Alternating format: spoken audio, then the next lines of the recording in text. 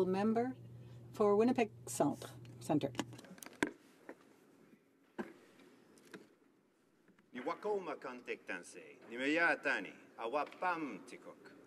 It's a pleasure to be speaking today on the Budget Implementation Act C63 and truly speaking on the issues related to the Budget Implementation Act number 2. This is an interesting piece of legislation.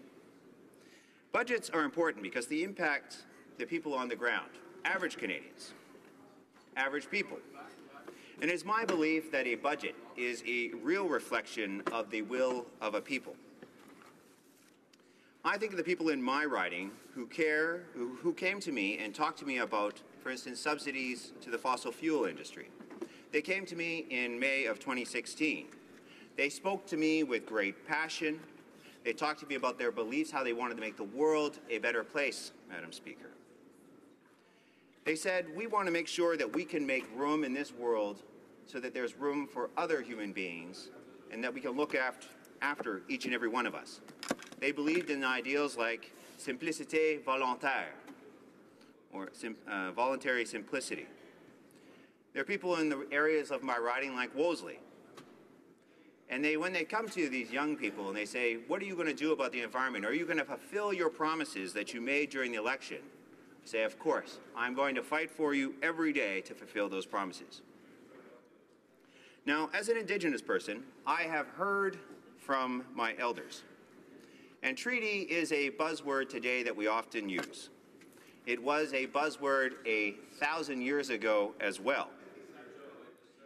Waka Sejak was the very first man. When the Creator, when the Great Spirit created all beings, when He created the two-legged ones, the four-legged ones, those that could fly, when He created the rivers and streams and mountains and sky, He created last of all man, and that was Waka Sejak. And he said to all the animals, he gathered them together, and he said to them, Who will protect this man? Because it is cold today, and he is cold. And the buffalo said, I will give him my fur so he can stay warm. And the birds said, We will give him food and sustenance. We will provide him with something to feed himself and his families. They had treaty. They had relationship with each other. It was not something to be taken lightly. When I said, Niwako makantik tanse nimiyatani awapam tikuk, it says, I honor all my relations. You have to honor all of our relations because we have treaty with everything that exists in this world. If we use something, we must honor it afterwards. If we use an animal or a being, we must honor it in a good way. To make sure that we do not waste, we do not destroy, that we continue to cherish, love, care, and protect. And those things today are sometimes very hard, but that's what I saw in the people who came to speak to me in May 27th of 2016 in my riding. Now, the world's largest economies in 2009 agreed to phase out subsidies for oil and other carbon dioxide fossil fuels in the medium term as part of efforts to combat global warming. Some $300 billion a year is spent worldwide to subsidize fuel prices, boosting demand in many nations by keeping prices artificially low and thus leading to more emissions. This agreement in 2009 was backed by all G20 countries, including Russia, India, and China. It was a victory for the United States President Barack Obama. He said, this rural reform will increase our energy security and it will help us combat the threat posed by climate change. He also said all nations have a responsibility to meet this challenge and together we have taken a substantial step forward in meeting that responsibility. It is my belief that eliminating such subsidies by 2020 will reduce greenhouse gas emissions blamed for global warming by 10% by 2050. And this was also highlighted by the International Energy Agency and the Organization for Economic Cooperation and Development. In a statement from the G20, comprised of the major rich and emerging economies, Energy and finance ministers said they would develop timeframes and strategies for implementing the subsidies phase out and report back at the next G20 summit. Now, it was our Prime Minister back then, the Honourable, Right Honourable Stephen Harper, who was the one to act on behalf of Canada at this G20 summit. In 2015, he agreed to a final communique for the G7 which emphasized or which said we emphasize that deep cuts in global greenhouse gas emissions are required with a decarbonization of the global economy over the course of this century. Our Parliament also voted last June in 2017 to accept that the Paris Accord is a necessary step to fight climate change. These are all truths. But another truth is that the Liberal Party promised in our 2015 platform, and I will quote, we will fulfill Canada's G20 commitment to phase out subsidies for the fossil fuel industry. The next step will be to allow for the use of the Canadian Exploration Expense Tax deduction only in the case of unsuccessful exploration. The savings will re be re redirected to investments in new and clean technologies.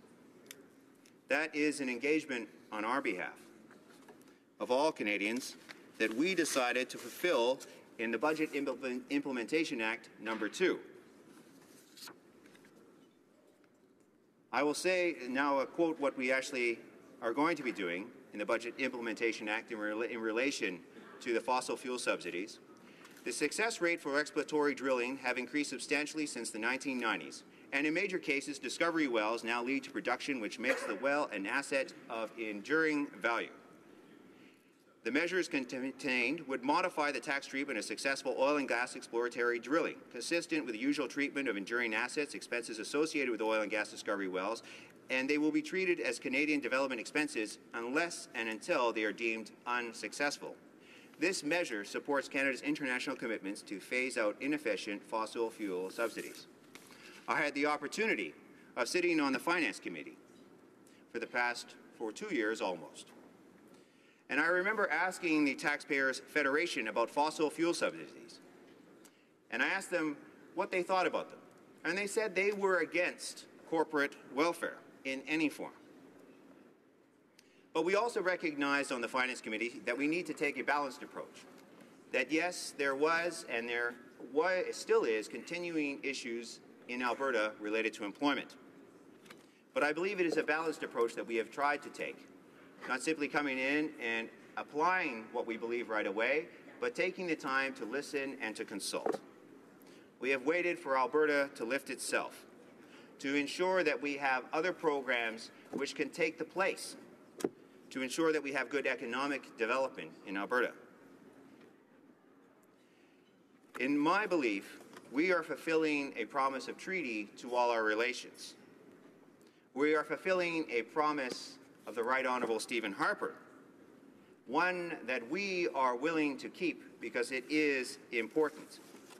We are willing to fight for the environment, fight for the beliefs of Canadians, and fulfill our promises which were contained in our 2015 platform. And I am proud that even a little bit of work asking some of those questions on the Finance Committee allowed us to ensure that today we are fulfilling that 2015 promise fulfilling what should have been done in 2009, 2011. So, Mr. Speaker, uh, thank you very much. Tapoyaki kitwa. Questions and comments? Uh, questions et commentaires? L'honorable député. The honourable member for Beauport-Limoilou. Thank you, Mr. Speaker, and I'd like to thank my colleague from Winnipeg Centre for his remarks. His introduction was very interesting. He was talking about the relationship Indigenous peoples have with animals and the earth, and really about the genesis of uh, humanity. And there's a sacred relationship between people and the earth. In the 2015 2016 budget and in the 2017 budget, the Liberal government decided to put billions of dollars into a fund to uh, help countries fight climate change. Now, it, that money isn't necessarily going to be used for that, but here's the question I want to ask. Because he's an anthropologist, can we seriously, seriously ask this current generation of Canadians to pay for the mistakes of our ancestors who polluted uh, the planet? Is it ethical from an intergenerational point of view and from an international point of view to send billions of dollars overseas to make up for mistakes that our ancestors made. Is that ethical? The honourable member for Winnipeg Centre. Thank you very much, Mr. Speaker. And I'd like to thank the member for Beauport Limoilou for his question. His question is an interesting one. Now, uh, as an anthropologist, one knows that cultures evolve. Cultures are constantly evolving. But here is what is certain. It's important to be in the present, even if our parents have made mistakes. For example, my parents made all kinds of mistakes in my life, uh, in the way I was raised, maybe, for example. However, I have a responsibility to correct these to the greatest extent possible for the benefit of my children. And yes, there is a balance that we have to find in our society between what we're trying to do for the environment and what we're doing for the economy. But I do think it's possible. And even if subsidies are provided to poorer countries, it's still important to make sure that we ourselves are progressing and that we're all progressing together because we don't want to be an island, even if North America is Tudor, Turtle Island. Questions or comments? Uh, the Honourable Member for Hochelaga. Thank you, Mr. Speaker. My colleague spoke about the protection of the environment, and so my question is this. It's related to the environment, but it's also related to housing. I'm the housing critic for my party, and so I would like to know why in the budget there's absolutely nothing for eco energetic retrofits. So, if we were to include the principles of energy retrofits, not only would we help improve the environment, but we would also be helping in keeping costs low in housing and for social housing. So I think there are many benefits to doing this. Now, given my colleague's vision, that is informed by his indigenous culture, is he not somewhat disappointed that his government does not have the same vision as he does regarding the environment and housing? The Honourable Member for Winnipeg Centre. Thank you very much for the question. Last Friday, I had an opportunity to uh, make an announcement on housing in Winnipeg.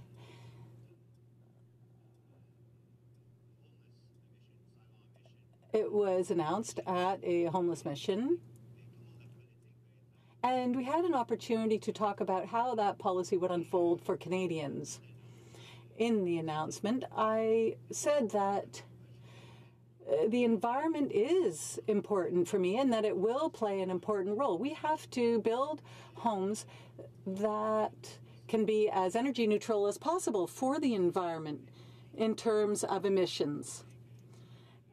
And at the time I, I said that, I, I read it out. And I think that's something that we do have to work on. We also have to listen to local communities. Yesterday, I had an opportunity to speak with people who are trying to build foundations for homes in the north so that these homes won't move once they're built, so that they'll be more stable and so that cracks won't appear in their homes. So this is dependent on design design is very important. It's very important to ensure that we build homes that are will last longer. But we have to convince local communities of the importance of building these kinds of homes. It's not something that we can impose. There are many indigenous communities, for example, where people decide to come in and experiment with new things. And these communities uh, start getting a little fed up. They want people to try their experiments elsewhere as well. So it's important to be able to convince people so that they do this on their own will. The time is almost expired.